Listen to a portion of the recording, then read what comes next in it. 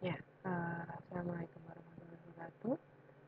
Selamat pagi, selamat siang, selamat sore, selamat semuanya. Ya, semoga kita semua dalam keadaan uh, sehat walafiat, baik-baik saja, bahagia, gitu ya. Uh, karena bahagia itu penting, gitu ya. Nah, uh, di sini kita berjumpa di perkuliahan analisis instrumen ya. E, berjumpa lagi dengan saya di materi pertama yang akan saya sampaikan adalah e, tentang spektrofotometri. Nah e, materi perkuliahan ini juga akan teman-teman jumpai di praktikum ya praktikum kimia analisis. Jadi ini materinya juga agak nyambung gitu ya. Karena eh, di kimia analisis sebelumnya eh, yang instrumen memang belum eh, disampaikan gitu. Jadi spektro ini merupakan eh, salah satu instrumen ya yang ada di dalam dunia analisis kimia gitu ya. Nah di sini untuk uh, part pertama ya, bagian pertama saya akan menjelaskan tentang uh, awal mula spektro itu gitu. Jadi uh, pengenalan uh, spektro ini saya akan menjelaskan itu gitu. Jadi uh, konsep cahaya, kemudian uh, konsep uh, apa namanya? Materi yang berinteraksi dengan cahaya seperti apa gitu. Kok bisa sih gitu kok uh, apa jadi instrumen pengukuran uh, suatu analisis kimia itu kok bisa sih gitu apa uh, dari cahaya? Itu kok bisa kita mengetahui oh di dalam sampel tersebut uh, terkandung senyawa A, B, C gitu ya. Atau e, di dalam sampel tersebut terkandung e, senyawa A sekian mol gitu. Itu bisa dihitung e, bisa diketahui melalui alat instrumen e, spektrofotometer ini gitu. Baik, e, kita mulai saja. Jadi memang apa namanya eh, bentuk interaksi radiasi dengan material itu bermacam-macam gitu ya. Jadi di sini kita melihat uh, cahaya gitu, kita melihat uh, cahaya itu sebagai energi gitu ya. Cahaya itu sebagai uh, gelombang elektromagnetik jadi, eh, jika kita menganggap cahaya sebagai gelombang elektromagnetik, padahal eh, gelombang elektromagnetik itu mempunyai eh, satu tingkatan energi sendiri-sendiri, gitu ya. Nah, eh, ternyata eh, gelombang elektromagnetik itu ketika eh, mengenai suatu benda jadi uh, apa namanya mengenai satu permukaan uh, senyawa, benda, pokoknya zat gitu ya. Itu bermacam-macam interaksinya gitu. Nah, yang pertama itu adalah interaksi uh, ketika ada cahaya datang itu mengenai satu materi atau suatu benda itu akan diabsorb atau diserap. Jadi uh, intensitas cahaya yang datang itu gede gitu ya karena terjadi absorpsi atau penyerapan maka yang diteruskan itu sebagian uh, yang keluar itu lebih kecil daripada intensitas awal. Nah itu untuk konsep yang absorpsi ya. Kemudian ada uh, bentuk interaksi yang lainnya itu seperti refleksi.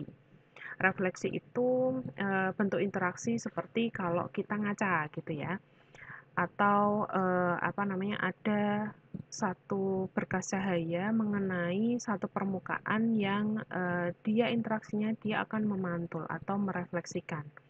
Nah, ini uh, contohnya ini adalah uh, kaca gitu ya. Jadi apa namanya uh, dia memantulkan gitu. Jadi yang datang, intensitas yang datang itu sama dengan intensitas yang pergi gitu ya.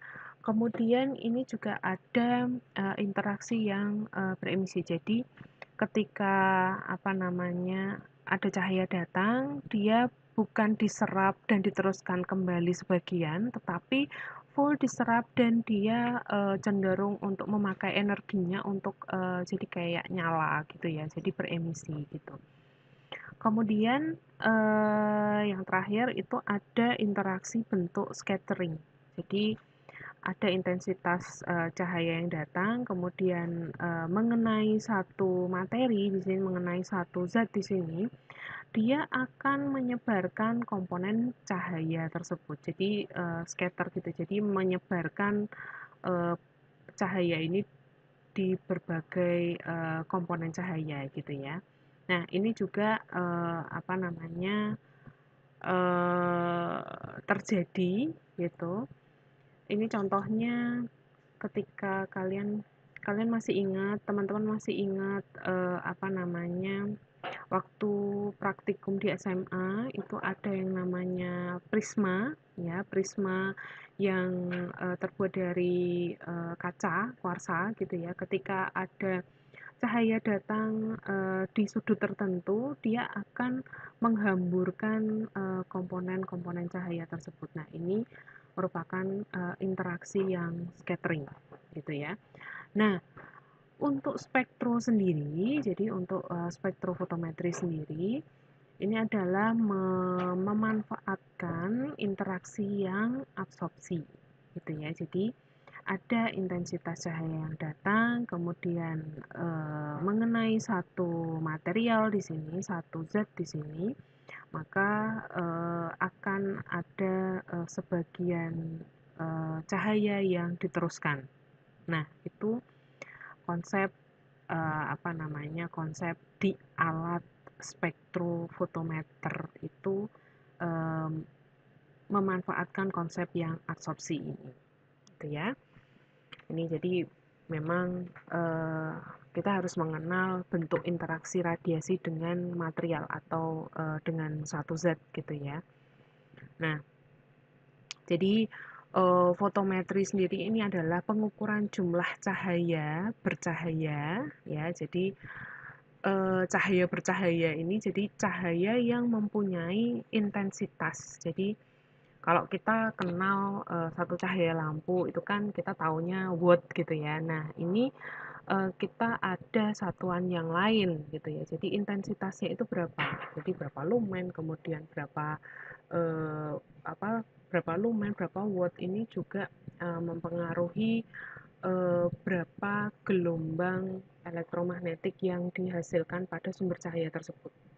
Nah, fotometri ini ini adalah pengukuran jumlah intensitas cahaya yang jatuh pada suatu permukaan dari satu uh, sumber gitu ya. Jadi uh, apa namanya memang kita Konsepnya adalah pengukuran uh, intensitas cahaya yang mengenai satu zat. Gitu. Nah, untuk spektrofotometri sendiri ini adalah pengukuran intensitas cahaya pada panjang gelombang yang dipilih. Jadi uh, cahaya di sini itu kalau uh, kalian masih ingat ya cahaya itu ada cahaya nampak, ada uh, cahaya infrared dan sebagainya. Nah, itu cahaya yang bisa kita lihat dengan mata manusia itu adalah cahaya tampak. Nah, cahaya tampak itu sendiri dia mempunyai satu daerah atau satu range gitu ya, satu range uh, panjang gelombang. Nah, range panjang gelombang uh, apa? Perbedaan panjang gelombang itu itulah yang mengakibatkan uh, kita bisa melihat berbagai macam spektrum warna. Jadi uh, kita bisa lihat warna merah, warna hijau, warna biru, warna hitam, gitu ya. Uh, apa namanya pink, gitu. Nah itu adalah uh, mata kita menangkap berbagai uh, panjang gelombang yang dipancarkan oleh uh, benda tersebut. Jadi ketika cahaya mengenai benda tersebut, kemudian dia memancarkan satu panjang gelombang tertentu yang menimbulkan uh, satu warna tertentu. Jadi warna merah itu punya panjang gelombang sendiri, gitu. Kemudian ada warna hitam itu punya panjang gelombang sendiri. Begitu halnya juga warna biru, dia juga punya daerah panjang gelombang sendiri. Nah, spektrofotometri ini ini adalah pengukuran intensitas cahaya pada panjang gelombang yang dipilih. Jadi, eh, kita harus tahu panjang gelombang yang kita pilih dulu itu yang mana. Kita mau mengukur di panjang gelombang yang mana gitu. Baru eh, apa namanya? si alat tersebut itu baru bisa apa namanya e, menangkap panjang gelombang yang kita pilih itu oh ini gitu jadi e, yang akan dideteksi itu adalah hanya di panjang gelombang yang kita pilih gitu ya nah metode ini dia bergantung pada sifat penyerap cahaya baik dari zat atau turunan dari zat yang dianalisis. Nah di sini uh, mengingat dari uh, apa tadi? Mengingat dari interaksi radiasi dengan material tadi ya ini adalah absorpsi gitu ya. Jadi satu zat satu senyawa ini dia ternyata uh, hanya berinteraksi di satu eh, panjang gelombang saja itu. Jadi satu senyawa itu dia punya ciri khas ya, ciri khas panjang gelombang yang dia hanya mau berinteraksi pada satu gelombang itu saja gitu. Jadi misalnya kita mau mengukur yang namanya asam askorbat misalnya. Nah, asam askorbat itu ternyata eh, dia mempunyai panjang gelombang spesifik misalnya di eh, daerah 600 nanometer gitu. Nah, untuk me, apa namanya? Untuk mengetahui kadar berapa sih asam askorbat di uh, satu sampel itu, ya berarti kita harus menyeting alatnya itu di panjang gelombang 600 nanometer gitu. Jadi bisa dipahami ya uh, tentang satu materi material ini satu zat ini dia hanya uh, berinteraksi atau ber, uh, ber bereaksi lah ya istilahnya hanya ngeh sama satu tipe panjang gelombang gitu ya jadi di sini metode ini bergantung pada sifat penyerap cahaya baik dari zat ataupun turunan dari zat yang dianalisis gitu ya. Jadi uh, kalau kita mau menganalisis kadar permanganat ya nanti akan berbeda dengan asam askorbat gitu panjang gelombangnya ya. Oke gitu. Semoga bisa dipahami ya. Nah untuk uh, tahu lebih lanjut kita juga perlu me mengenal sifat cahaya. Jadi gelombang elektromagnetik ini dicirikan oleh frekuensi dan panjang gelombangnya. Ya jadi eh, masing-masing uh, warna masing-masing cahaya ini dia mempunyai daerah gelombang elektromagnetik yang khas gitu ya. Nah cahaya ini adalah spektrum dengan panjang gelombang berbeda yang dikenali mata sebagai warna putih. Kalau kalian masih ingat teman-teman masih ingat waktu dulu SD atau SMP gitu itu ada uh, dulu guru prakaryanya gitu ya itu uh, apa namanya me,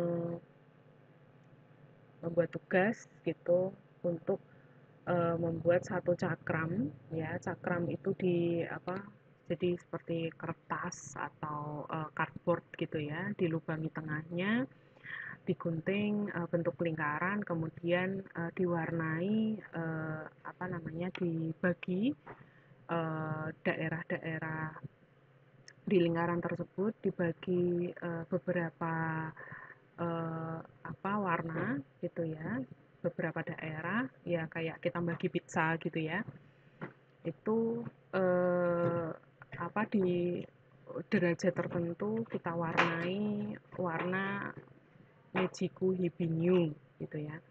Nah, ketika sudah komplit, uh, kemudian kita hubungkan di satu tali dan diputar. Nah, itu ketika uh, Mejiku Hibinium itu terblending jadi satu, ini akan uh, tampak sebagai warna putih gitu ya.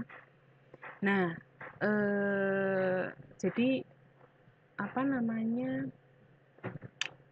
eh, warna putih itu adalah eh, ya sebagai cahaya tampak yang bisa kita tangkap sebagai mata manusia gitu ya ditangkap mata manusia itu ternyata dia eh, terdiri dari beberapa spektrum warna spektrum cahaya jadi uh, cahaya di sini yang bisa kita kenali sebagai uh, warna putih atau cahaya putih ini bisa diisolasi menjadi bagian-bagian terpisah dan diukur. Itu. Jadi ternyata warna putih itu uh, terdiri dari warna Mejikuhibiniu itu tadi, ya. Dan warna putih itu juga bisa dipisah-pisah menjadi Mejikuhibiniu, gitu. Nah, manu mata manusia ini dia merespon uh, energi radiasi itu antara 380 uh, eh, hingga 750 nanometer. Jadi uh, mata mata kita yang ciptaan uh, Tuhan itu uh, menangkap warna itu lebih baik daripada kamera mana pun. Kemudian juga ternyata eh, apa mata kita juga masih mempunyai batas gitu ya. Jadi kita hanya bisa melihat eh, sesuatu yang eh, apa namanya yang memancarkan gelombang antara 380 sampai 750 nanometer gitu.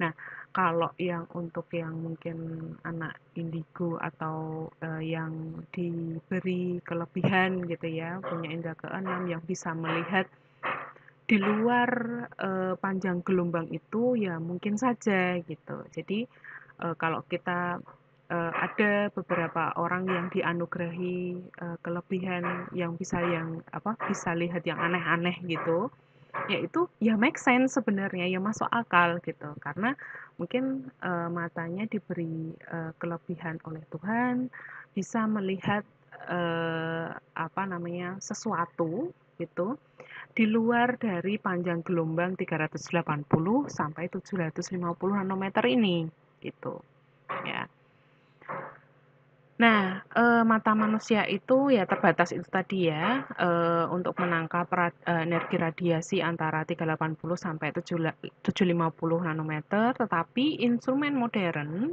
ya, jadi e, untuk alat-alat instrumen e, yang ada ini dapat mengukur panjang gelombang yang lebih pendek gitu. Bisa sampai UV dan yang lebih panjang itu bisa sampai gelombang yang dipancarkan infrared gitu ya. Nah, panjang gelombang ini menggambarkan posisi dalam satu spektrum. Nah, ini adalah jarak antara dua puncak saat cahaya bergerak seperti gelombang. Ya, semoga masih ingat uh, pelajaran uh, fisika gitu ya yang uh, membahas panjang gelombang, frekuensi dan teman-temannya itu. Gitu ya. Nah, Cahaya juga terdiri dari paket energi diskrit yang disebut foton. Ya, energi cahaya itu disebut foton yang energinya berbanding terbalik dengan panjang gelombang. Ya. Jadi eh, justru ketika eh, panjang gelombangnya eh, istilahnya panjang gitu, itu tingkat energinya itu justru semakin rendah. Ketika panjang gelombangnya pendek, ya panjang gelombangnya pendek itu tingkat energinya yang dibawa itu semakin besar gitu ya. Ini ya seperti UV dan infrared ini ya. Nah senyawa ya satu senyawa senyawa kimia eh, satu zat gitu ya. Itu menyerap radiasi cahaya dengan panjang gelombang tertentu. Yang tadi saya sudah contohkan, mungkin uh, asam askorbat itu punya uh, panjang gelombang yang diserap itu uh, berbeda dengan permanganat, berbeda dengan oksalat, ya, berbeda dengan sulfat. Nah, seperti itu. Jadi masing-masing uh, uh, senyawa dia mempunyai uh, satu daerah uh, panjang gelombang sendiri gitu. Cahaya yang diserap oleh sampel ini berbanding lurus dengan konsentrasi sampel dalam larutan ya. Jadi ketika konsentrasinya meningkat, penyerapan meningkat secara eksponensial. Jadi semakin konsentrasinya tinggi yang di apa namanya yang di uh, analisis itu cahaya yang diserap itu semakin besar ya. Jadi uh, semakin besar kemudian yang diteruskan itu semakin kecil karena uh, sudah ada tingkatan energi yang diserap ya di satu sampel tersebut karena dia konsentrasinya tinggi jadi menyerap energinya itu juga gede gitu. Sehingga cahaya yang diteruskan itu juga kecil gitu ya. Ya semoga bisa dipahami. Kita lanjutkan ke spektrofotometri.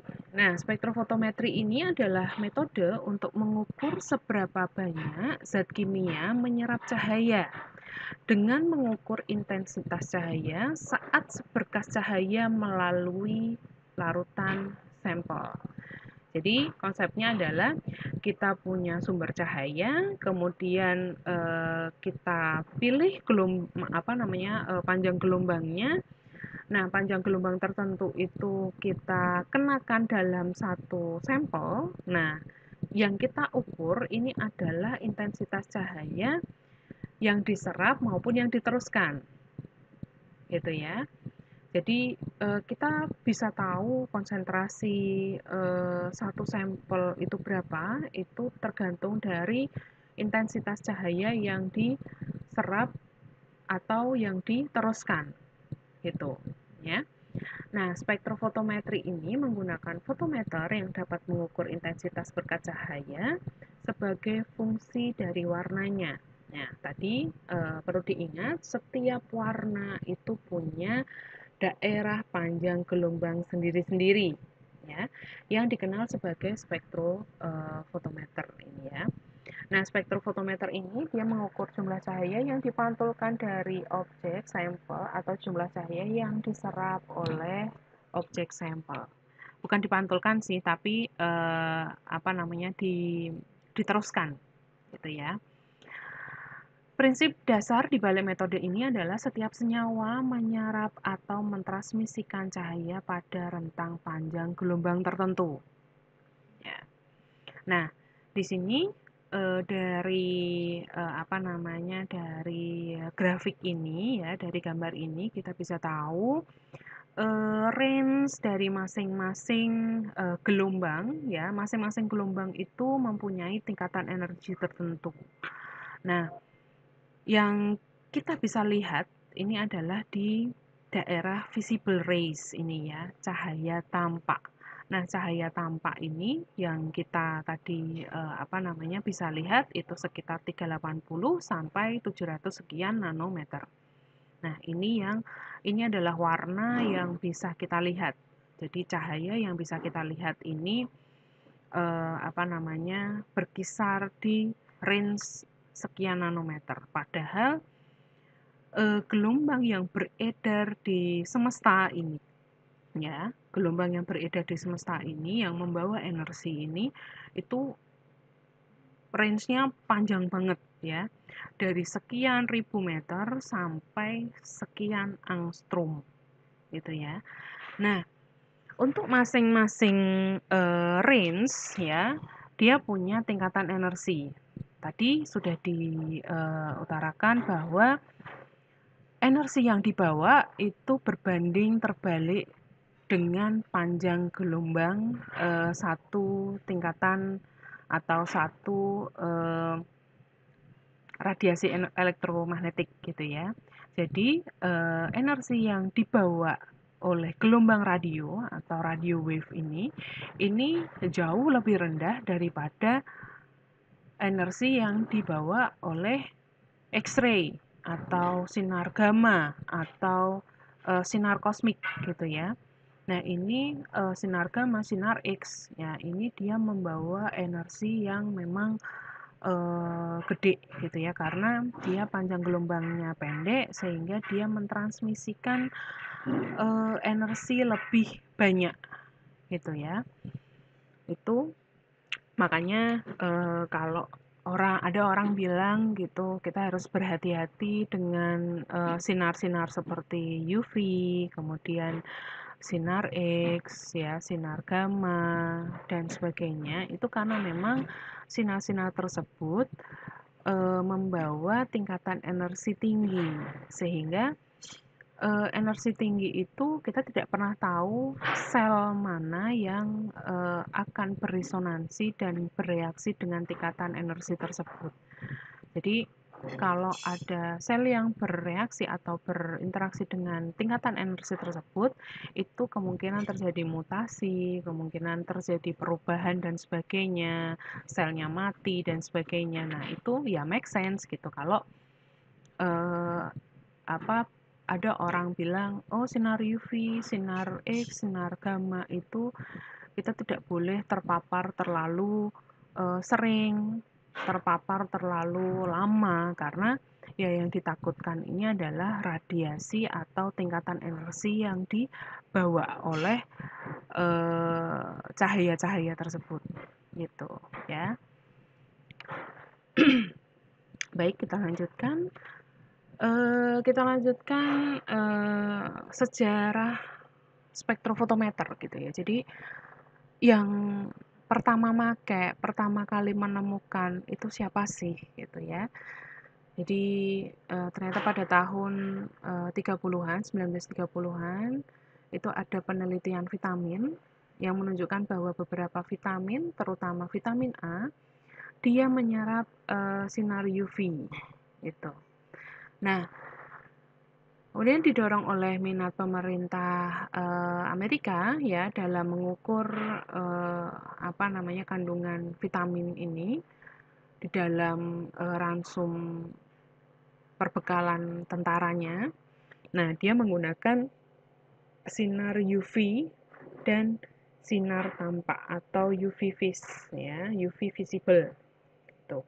Nah, penelitian ini memuncak pada peluncuran komersial spektrofotometer UV-vis pada awal 1940-an. Jadi, eh, apa namanya? Karena ditemukan karena satu materi ya eh, yang pertama kali disadari itu adalah vitamin A. Ternyata vitamin A itu eh, bisa menyerap sinar UV ya. Jadi eh, mereka berpikir bagaimana menghitung kandungan vitamin A menggunakan tingkatan sinar ini gitu.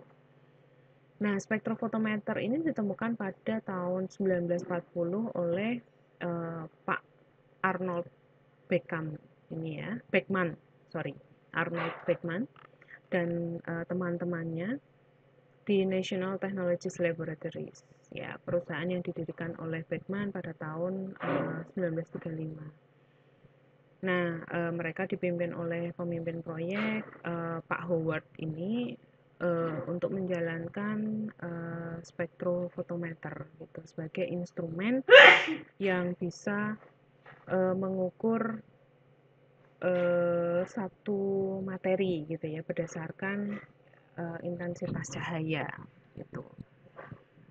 Nah, uh, basic konsepnya itu tadi yang sudah kita uh, bahas tadi ya. Jadi ketika cahaya melewati satu fraksi atau satu sorry, ketika cahaya melewati satu larutan, nah fraksi tertentu ini diserap gitu. Jadi intensitas tertentu itu diserap. Nah, fraksi ini dideteksi, diukur, dan digunakan untuk menghubungkan cahaya yang diserap atau ditransmisikan ke konsentrasi zat. Nah, hal ini memungkinkan analisis zat secara kualitatif dan kuantitatif.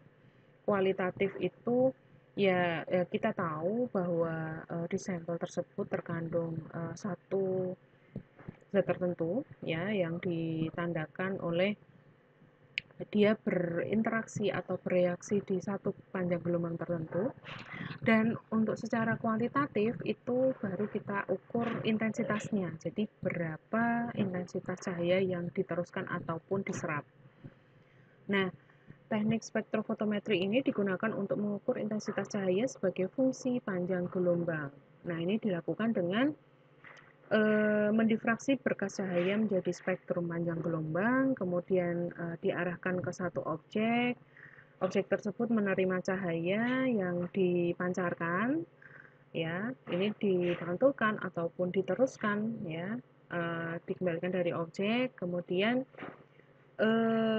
ada detektor yang mendeteksi intensitas dengan perangkat yang dipasangkan dengan pengisian daya dan uh, ada display ya. Jadi uh, dia tugasnya menampilkan hasil sebagai grafik pada detektor dan kemudian perangkat uh, tampilan atau displaynya. Jadi pada alat spektrofotometer itu ada sumber cahaya kemudian ada monokromator ya yang mengatur eh, panjang gelombang sumber cahaya tersebut, kemudian ada tempat sampel, dan ada detektor.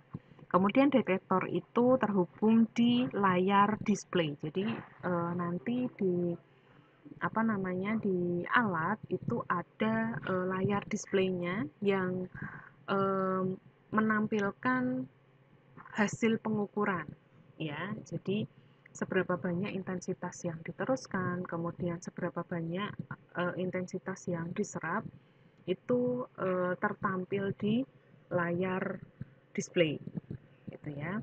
Nah, ini konsepnya. Jadi ada sumber cahaya di sini, kemudian uh, ini ada entrance lead, ya, dia memfokuskan cahaya, tugasnya memfokuskan cahaya yang nantinya akan mengenai monokromator monokromator ini uh, apa namanya yang uh, sederhananya itu adalah prisma yang uh, apa namanya prisma yang kalian teman-teman uh, mungkin sudah jumpai di praktikum fisika waktu SMA gitu ya uh, apa namanya dari kaca gitu ya dari kuarsa begitu bening nah dia tugasnya adalah memendarkan atau me, me, memancarkan ya apa namanya membagi e, cahaya tersebut ke berbagai spektrum warna, berbagai spektrum gelombang cahaya. Nah, tugasnya Exit ini adalah untuk memfokuskan satu panjang gelombang yang dipilih, gitu, yang nantinya akan mengenai sampel. Nah, uh, intensitas cahaya yang diteruskan ya oleh sampel, jadi ada yang diserap, ada yang diteruskan. Nah, yang diteruskan oleh sampel ini dideteksi oleh detektor, yang nanti detektor itu akan mengirimkan sinyal pada display yang menampilkan berapa sih banyaknya intensitas cahaya yang diserap ataupun yang diteruskan oleh sampel. Nah, ini yang nanti e, dari intensitas tersebut kita bisa tahu konsentrasi dari sampel itu berapa gitu.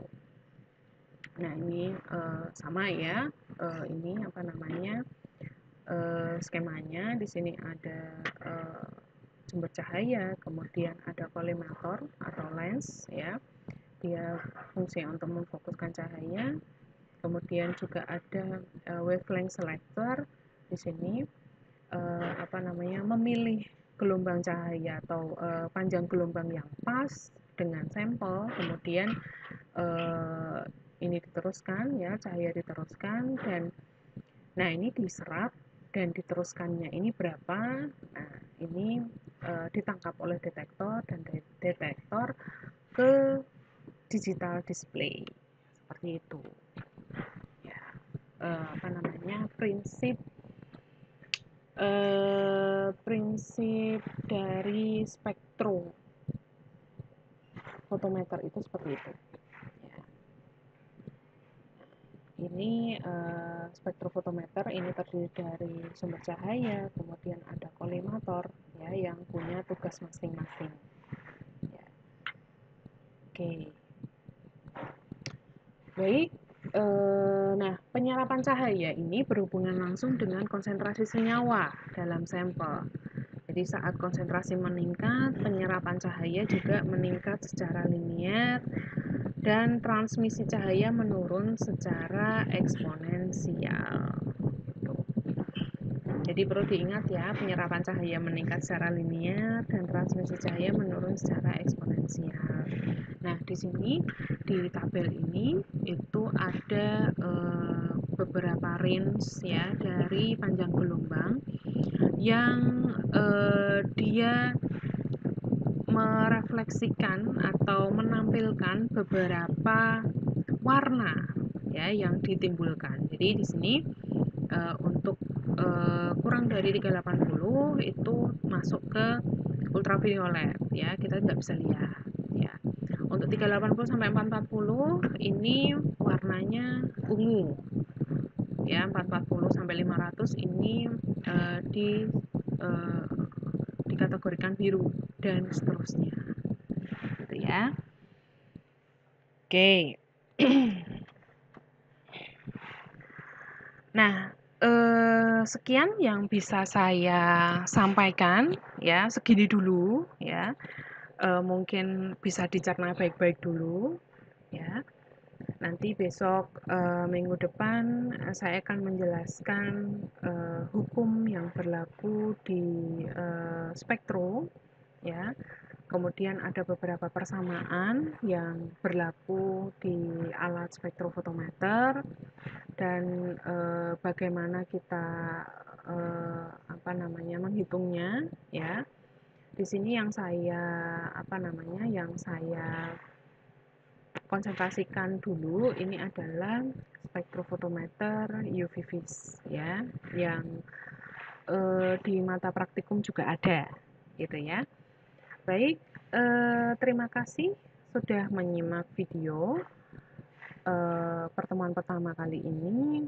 Eh, silahkan jika ada pertanyaan atau hal-hal yang perlu didiskusikan, tinggalkan jejak di kolom Google Classroom ya pada uh, postingan materi ini uh, dan mari kita berdiskusi bersama-sama, mari kita belajar bersama-sama gitu. Uh, terima kasih. See you next week.